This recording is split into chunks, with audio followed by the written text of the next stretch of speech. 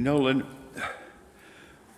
usein muistellut noita Mikko Alatalon järjestämiä Tammerikoskin sillalla laulutilaisuuksia.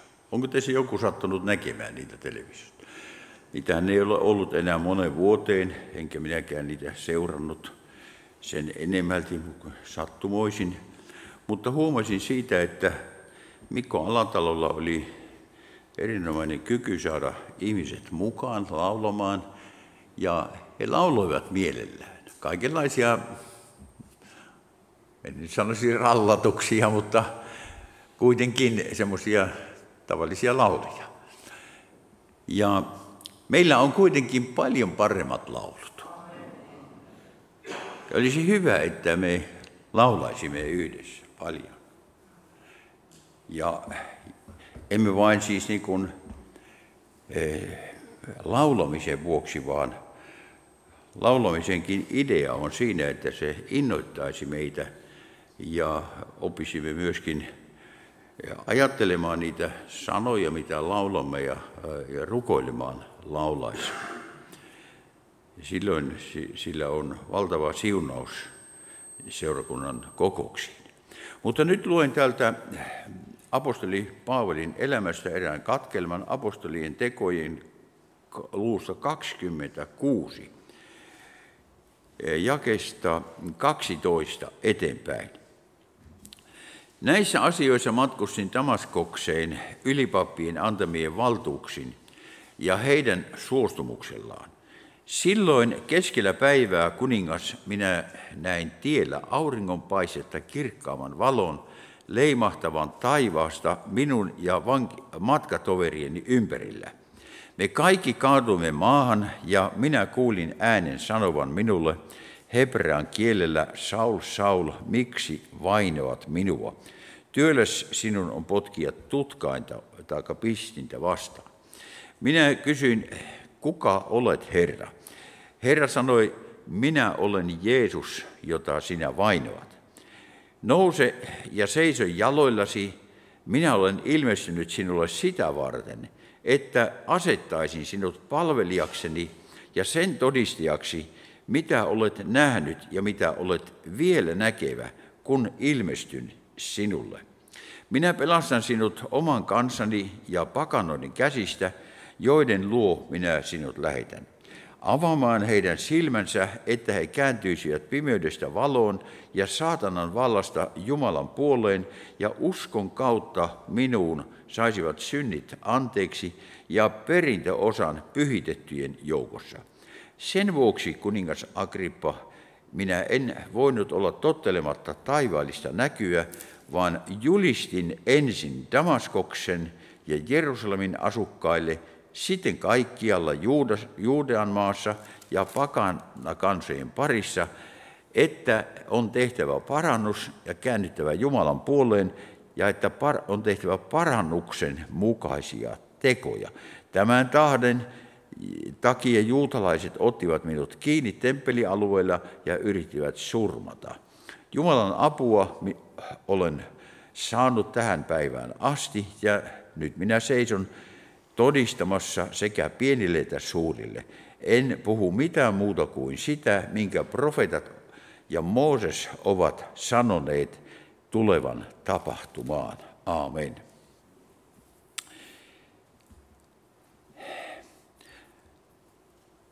Kaikilla ihmisillä on jonkinlainen käsitys elämästä. Jonkinlainen näky siitä, että mikä on oikein, mikä on väärin, mikä on elämän tarkoitus, tai ehkä onko sillä tarkoitusta ollenkaan. Ja näky voi olla sellainen, joka muuttaa ihmisen elämän. Niin kuin tässäkin tapauksessa kuulimme. On olemassa ainakin kolmesta lähteestä tulevia näkyjä. Paholainen antaa näkyjä ihmisille. Matteuksen evankeliumin neljännessä luvussa ja muissakin eva- synoptisissä evankeliumissa kerrotaan, miten paholainen näytti Jeesukselle maailman loiston ja mitä kaikkea hän näytti. Saat tämän kaiken, jos kumarat minun. Sitten ihmisen omasta mielikuvituksesta nousee kaikenlaisia visioita. Ja vanhan testamentin profeettoja moititaan Hesekielin kirjan 13. luvussa siitä, että he ennustivat oman sydämensä ajatuksia. Ja näitä on hyvin paljon meidänkin ajassamme. Sitten on olemassa Jumalan antamia näkyjä, ja, jotka toteutuvat ja joilla, joissa on jokin merkitys ihmiselämään. Uskovilla ihmisillä yleensä on jonkinlainen näky hengellisistä asioista, Jumalasta, Jeesuksesta, raamatusta ja niin edelleen.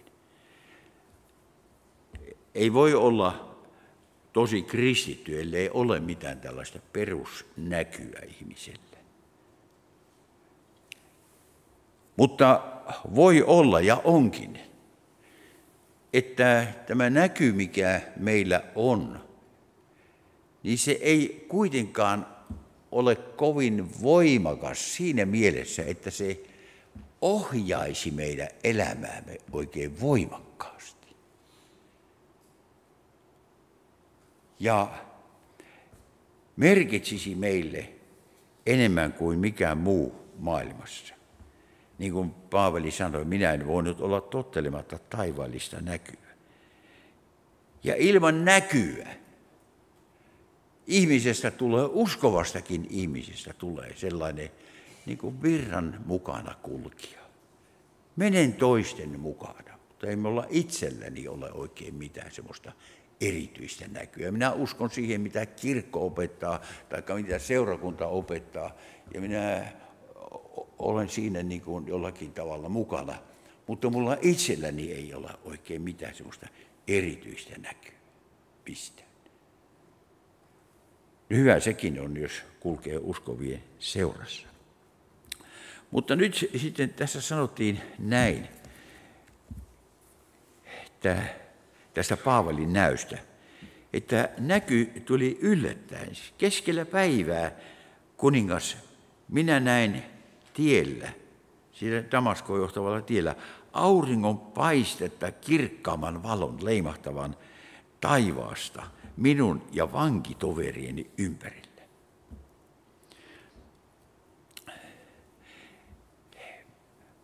Minä olen monin, monin, oikeastaan kymmeniin vuosiin maininnut siitä kenellekään, mutta sitten nyt olen viime vuosina joskus maininnut siitä, että minä, minä olen nähnyt kaksi kertaa elämäni aikana tämmöisen valon.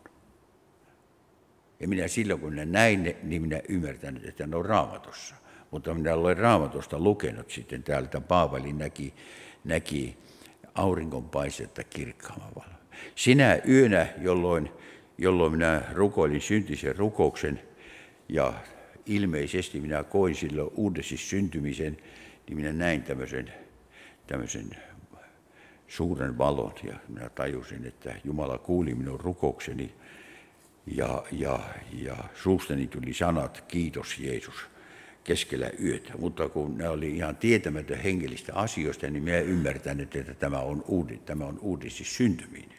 Mutta jälkeenpäin minä sitten menin eh, helluntaiseurakunnan kokoukseen Kuopiossa ja julkisesti tein uskon ratkaisun. Ja sitten sain myöhemmin kokea sitten yhtä toista muuta Herran seurassa. Ja sitten, sitten joskus silloin uskon elämäni alkuaikoina, niin näin to, myöskin toisen kerran tällaisen, tällaisen valon ja parannuin samalla flunssasta. No niin, mutta kaikki eivät näe tällaisia, tällaisia näkyjä, näin suuria näkyjä. Mutta se tuli yllättäen. Ilman mitään ennakkoaavistuksia, ilman etsimistä. Se tuli yllättäen, keskellä kirkasta päivää näin. näin. Minäkin olen nähnyt kaikenlaisia pieniä näkyjä elämäni aikana. Mielitin kertoa niistä, mutta en sen enempää. Mutta olen kirjoittanut semmoisen kirjan ihmisen kolminaisuudesta. Kuulin kustantajalta tällä viikolla, että he julkaisevat sen kirjan. Ja kun minä ajattelin, että miten minä kuvaisin tätä ihmisen kolminaisuutta, niin minä kerran kuulin tuota Ylöjärvellä Eh, liikennevaloissa, niin minä näin edessä, edessäni tämmöisen, tämmöisen piirroksen. Ja minä, tuolla tavalla minä kuvaan sitten ihmisen kolminaisuutta. Ja se piirros on sitten, minä piirretin sen yhdellä, yhdellä veljellä, ja se on siinä kirja, kirjassa myöskin tämä har, harvinainen piirros. Mutta näky voi tulla aivan yllättäen. Ja Paavali kuulee sanat, Eh, Saul, Saul, miksi vainoat minua? Työläs on sinun potkia tutkainta vastaan. Ja sanotaan, että me kaaduimme kaikki maahan. Me kaikki kaaduimme maahan. Tämä on myöskin symbolista siinä mielessä, että kun Jumala oikeasti kohtaa ihmistä, niin tapahtuu silmänräpäyksessä asioita, mitä ei, mitä ei mitä ei koskaan elämän aikana parhainkaan raamatun opettaja tai evankelista voi saada toista vakuuttuneeksi. Me saamme saarnata ja puhua ihmisille niin paljon kuin haluamme, mutta ellei Jumalan maailmasta tule sitä ilmestystä, niin emme kanna satoa. Tämä minä ymmärsin aikanaan, kun tein muslimien, muslimien parissa työtä, että minä en voi heitä pelastaa, minä vaan sitten opetin, opetin heitä, mutta kyllä niitä paljon sitten muslimia tuli kuitenkin uskoon. Mutta kun Jumalan ilmestys tulee, niin tapahtuu silmän räpäyksessä ihmisestä tulee pieni. Hän kaatuu maahan Jumala edessä. Ja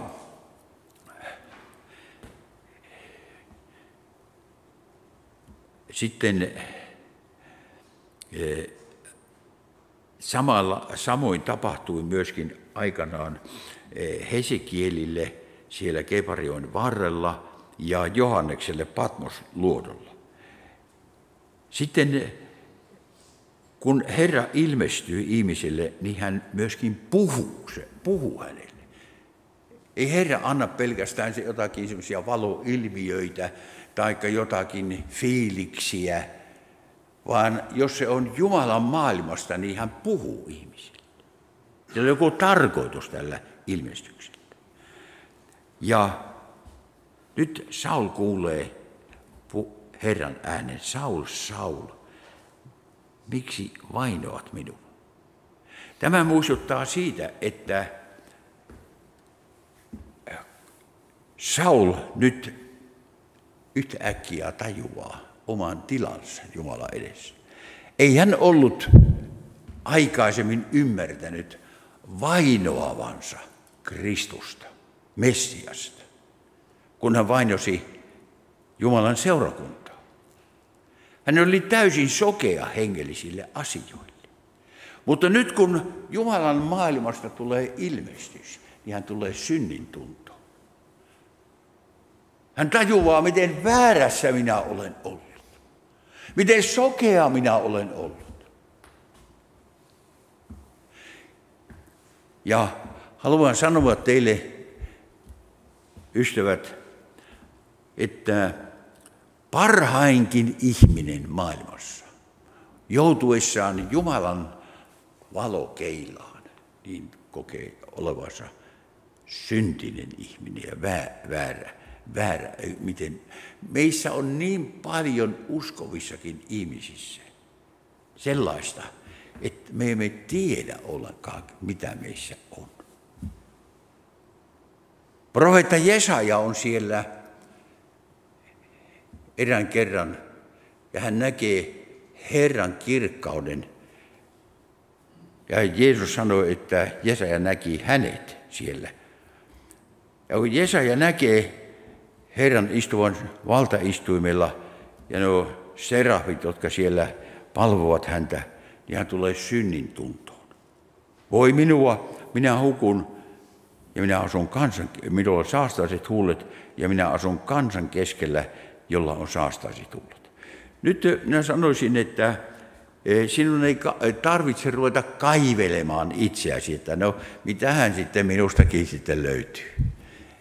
Eh, et sinä kaive, itseäsi kaivelemalla pitkälle pääse. Ja saat kaivella itseäsi kuolemaan asti, etkä tule sen paremmaksi. Mutta niin kuin mainitsin, niin minäkin olen kokenut lukemattomia kertoja tämän asian. On Jumalan valo paljastaa minut, niin minä huomaan itsessäni asioita, joita en ole muuten järjelläni tajunnut ollenkaan olevan olemassa. Ja kaikenlaisia vääriä sanoja, väärinkäytettyä aikaa, väärinkäytettyjä varoja, vääriä niin ihmissuhteita, vääriä asenteita. Kaikkea löytyy aivan hirveästi meidän elämästämme, vaikka me luulemme, että minä olen hyvä ihminen. Mutta niin kuin sanoin, se ei tarvitse ruveta kaivelemaan itseäsi näitä, mutta antaa Jumalan valon paljastaa sinua. Sillä Jumalan sana on elävä ja voimallinen ja terävämpi kuin mikään kaksiteräinen miekka. Ja se tunkee lävitse, kunnes se erottaa sielun ja hengen, ruumiin nivelet ja ytimet ja tuomitsee sydämen ajatukset. Ja eh, Charles Finney joskus eh, aikanaan sanoi, hän oli amerikkalainen kuuluisa herätyssaarna ja hän sanoi, että jos me näkisimme omat syntimme, niin me kuolisimme silmänräpäyksessä. Niin so, äh, turmeltunut on tämä ihmisen olemus. Mutta uskovana ihmisenä meidän on myöskin tiedettävä se, että kaikesta huolimatta niin me olemme Jumalan edessä Kristuksen tyyn perusteella vanhuskaita ja otollisia, kelvollisia. Halleluja! Niin. Joo. Meillä on uusi asema hänessä. Ja no niin, nyt Paavali tajuaa, että minä olen tehnyt ihan väärin vainotessani kristittyjä. Ja tällaista, heräty, tällaista herätystä me tarvitsemme ja ihmiset tarvitsevat meidän aikanamme. Tällaista synnin tunnon herätystä, joka lyö meidät maahan ja, ja riisuu meidät omasta vanhuskaudestamme. Mutta sitten Herra sanoo Paavalille tai Saulukselle, nouse ja seiso jaloillasi, minä olen ilmestynyt sinulle sitä varten. Ja kun Jumala ilmestyy, hän ilmestyy tiettyä tarkoitusta varten ihmisen elämään. Minä olen ilmestynyt sinulle sitä varten, että asettaisin sinut palvelijakseni ja sen todistajaksi, mitä olet nähnyt ja mitä olet vielä näkevä, kun ilmestyn sinulle. Se ensimmäinen tarkoitus tässä on se, että minä asetan sinut palvelijakseni. On vaikea olla sanan palvelija ja yleensäkin Jumalan palvelija, jos ei ole mitään semmoista taivaallista ilmestystä ihmisellä ollut. Minä en nyt tarkoita tällä taivaallisella ilmestyksellä sitä, että sinun pitäisi nyt ehdottomasti nähdä samalla tavalla kuin apostoli Paavali tämmöisen ihmisen valon. Mutta sinulla täytyy olla kuitenkin sellainen omakohtainen vakaumus asioista, että Jeesus on minun pelastajani. Jeesus on ilmestynyt minun elämääni. Minä uskon häneen. Ja vaikea on olla uskova ihminen ja varsinkaan sananpalvelija, jos ei ole mistä todistaa. Niin kuin yksi teologian tohtori kirjoitti kerran hengellisessä lehdessä, että minulla ei ole minkäänlaisia kokemuksia Jumalasta. Kuinka hän voi opettaa sitten, olla raamatukoulun rehtorina ja opettaa ihmisille, jos ei ole omakohtaista kokemusta. Niin kuin Johannessa kirjoittaa myöskin siellä näin, että mitä katselimme, käsi koskettelimme. Siitä me puhumme elämän sanasta. Halleluja. Ja jos sinulta puuttuu tällaisia, tällainen sisäinen kokemus ja tuoreus siitä, että Jeesus elää, niin älä masennu siitä. Jeesus voi il, haluaa ilmestyä sinulle. Että sinä, sinulla olisi jotakin kerrottavaa ihmisille. Ja voisit todistaa hänestä, mitä hyvää hän on sinulle tehnyt. Ja sitten hän antaa toisen eh, tehtävän.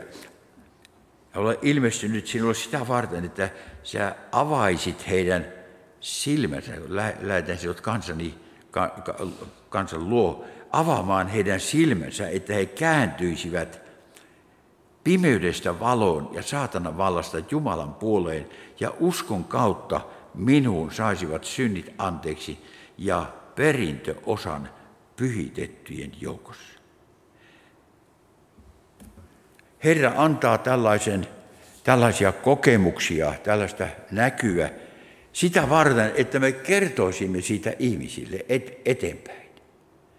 Ei se ole Jumalan tahto, vaikka se kuulostaa niin hirveän hurskalta meillä tässä luterilaisessa maassa, että uskonto on niin pyhä ja kallis asia, että siitä ei sovi puhua toreilla.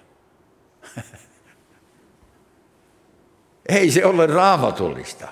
Että usko on niin kallis ja pyhä asia, ettei siitä pidä kenellekään puhua, vaan omassa sydämessä hautoa. Ei. Jeesus ilmestyi eh, Saulukselle, että hän kertoisi tästä ja avaisi ihmisten silmät näkemään, mikä on totuus ja kääntyisi, että kääntyisivät Herran puoleen. Se, sekin on myönnettävä, että meilläkin, jotka olemme uskossa, niin ei meillä, meidänkään silmämme ole vielä täysin avautuneet. On paljon asioita, mitä, mitä, mitä me emme näe vielä kyllin selvästi. Ja voi olla, että joitakin asioita näemme ihan väärinkin. Sokea ei voi sokeaa taluttaa. Ja sen tähden olisi suotavaa, että varsinkin sanan palvelijoille olisi silmät avautuneet niin, että, emme, että meillä olisi tietoa asioista ja myöskin hengellisiä kokemuksia ja sellaista tervettä oppia, mikä ei sido ihmisiä ja rasita ihmisiä ja, ja orjuuta ihmisiä, vaan se olisi tervettä raamatun evankeliumia. Mutta niin kuin sanoin, niin, niin me olemme itse kukin vielä matkalla. Emme ole vielä päässeet sinne täydellisyyteen. Ja sen tähden me tarvitsemme jatkuvasti tätä, mistä Sisko luki, että viisauden ja ilmestyksen henkeä hänen tuntemisessaan. Me emme ole nähneet vielä Jeesuksesta paljonkaan. Oikein hävettää sanoa tämä, mutta tämä on ikävä totuus minäkin olen ollut 63 vuotta uskossa ja minä en vielä tunne paljon ollenkaan häntä. Ihminen voi edes koskaan tässä elämässä tunteakaan täydellisesti ääretöntä ja suurta Jumalaa. Jos ihmiset luopuvat Jeesuksesta ja tästä uskosta, niin se ei ainakaan johdu siitä, että he olisivat pettyneet. Pettyneet Kristukseen. Ja Kristukseen kukaan voi pettyä, jos hän vain vähänkin on päässyt vilaukselta näkemään, kuka hän on. Mutta ihmiset pettyvät uskontoon ja joskus seurakuntiin ja kirkkoihin sen tähden, että me elämme täällä vajavaisuuksien maassa. Mutta Jeesukseen ei tarvitse pettyä. Ihmiset elävät hirvittävässä pimeydessä meidänkin aikanamme. Mutta niin kuin mainitsin jo aikaisemmin, niin kun ihminen saa oikean herätyksen, hän näkee sen hirvittävän petoksen, missä hän on elänyt elämänsä ajan. kun sä katselet esimerkiksi näitä, jos show-ohjelmia, se on kaikki valetta.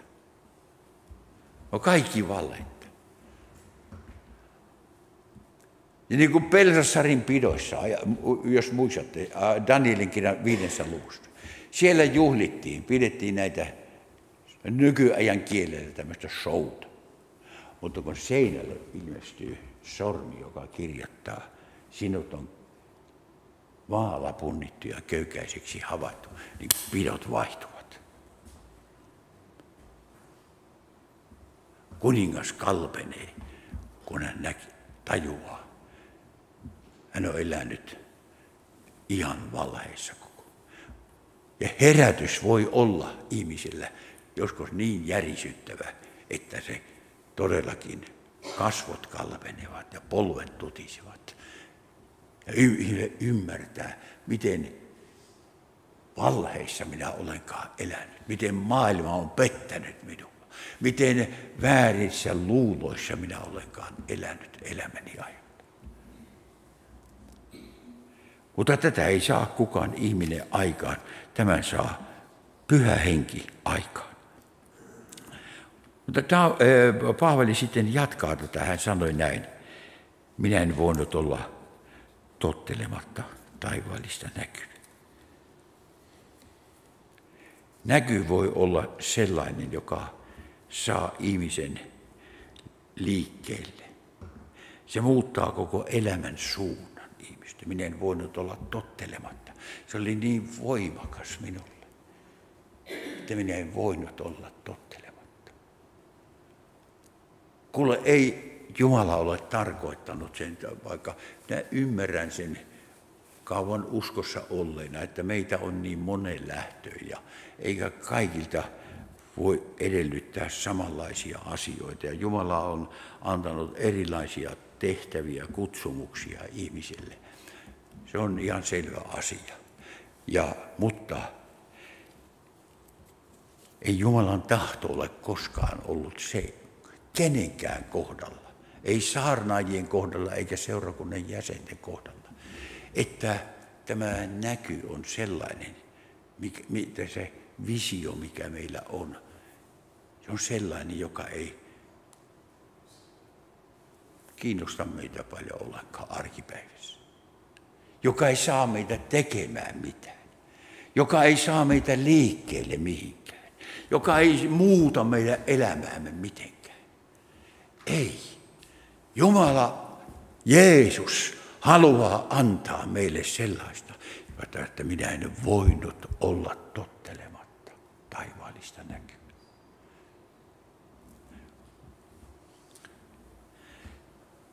Ja tämä tällainen taivaasta tullut sanoma tai näky, se auttaa meitä hylkäämään sellaiset asiat, jotka sotivat tämän näytön toteutumista vastaan.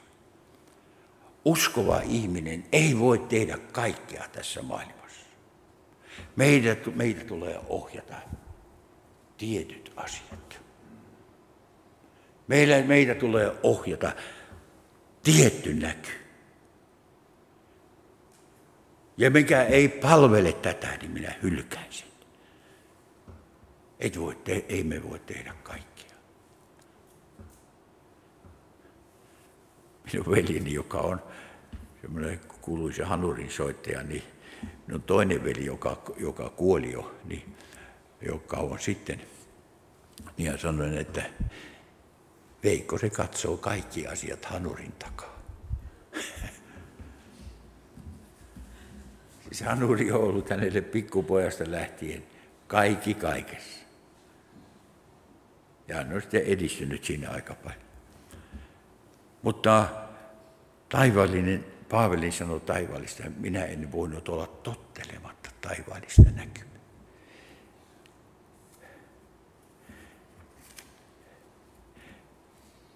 Ja, ja hän alkoi saarnata siitä, alkoi puhua. Ja nyt Kysymykseni kuuluu siitä, että kuinka säilyttää tämä näky.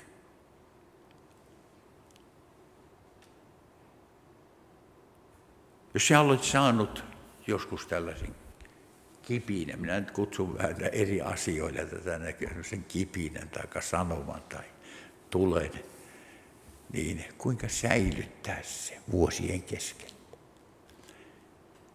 Paavali kirjoittaa työtoveristaan Deemaksesta, että tähän maailmaan rakastuneena Deemas jätti minut. Ja matkusti Tessalonikiin. Lootista sanotaan, että Loot siirtyi siirtymistään Sodomaa kohti, kun hän näki, että se oli viljovaa seutua. Mutta Abraham kulki teltoissa ja rakensi alttareita siellä vähän väliä. Kuinka säilyttää tämä näky vuosien keskellä? Jos sinä olet nuori uskova, niin mukava nähdä, että teitä on minua nuorempiakin.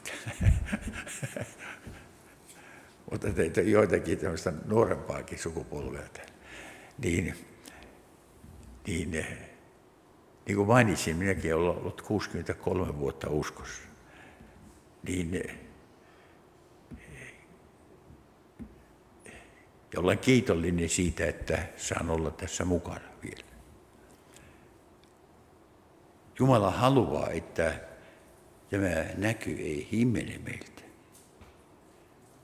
vuosien kuluessa. Ei, vaan että se tulee entistä kirkkaammaksi, entistä sel- selvemmäksi. Että minä haluan seurata Kristusta. Nyt kun me puhumme näystä, niin meidän ei pidä nyt ensisijaisesti ajatella, että miten enkeli ilmestyisi minulle tai, tai minä saisin jonkun semmoisen ihmeellisen profetian sanoman tai jotakin muuta.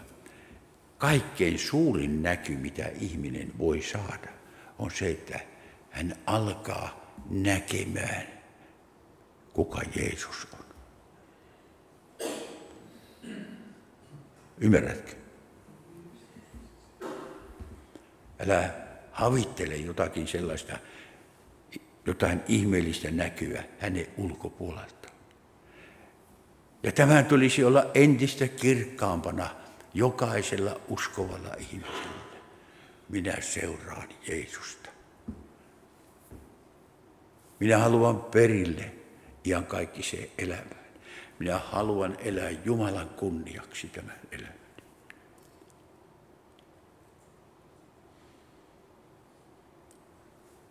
Kuule, tämä ei ole itsestään selvää. Sä tiedät se omassa tunnossasi. Tämä ei ole itsestään selvää.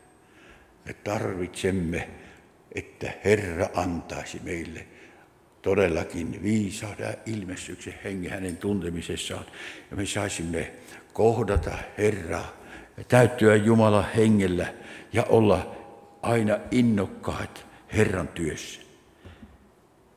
Ja kun sä olet saanut tämän, tämän ilmestyksen, niin muistele sitä usein. Pidä se mielessäsi. Ja tottele sitä.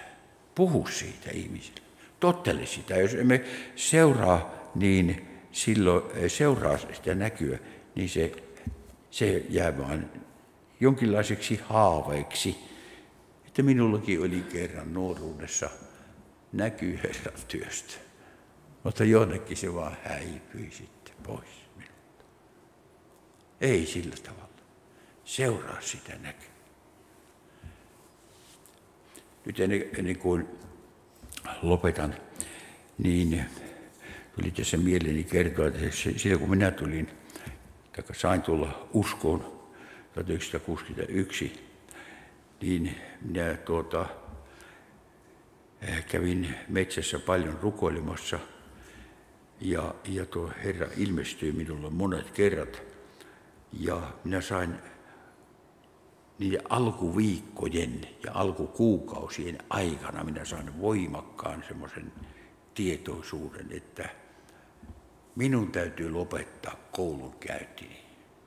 Minä kävin teknissä koulua siihen aikaan. on täytyy lopettaa koulunkäyntiin ja lähteä saarnaamaan. No minä menin sitten seurakunnan johtajan Niilo Heimosen luokse kertomaan tästä. Heimonen sanoi minulle, että kuule, käy koulusi loppuun ja hanki ammatti itsellesi ja kyllä sä sitten ehdit myöhemminkin, myöhemminkin vielä lähteä Herran työhön. Ja minä kyselin yhdeltä ja toiselta ja kaikki sanovat samaa. Mutta minä tiesin sisimmässäni, että minä teen väärän rat, väärin ratkaisun. Minun olisi pitänyt lopettaa se koulu ensimmäiseen luokkaan. Ja minä saan moniksi vuosiksi ristiriitoja elämääni. Ja olen sitten kyllä jälkeenpäin ajatellut, että, että kaikki hyvin. Jumala ei kuitenkaan kutsumista ja armonlahjonsa kadu, sanotaan raamatussa.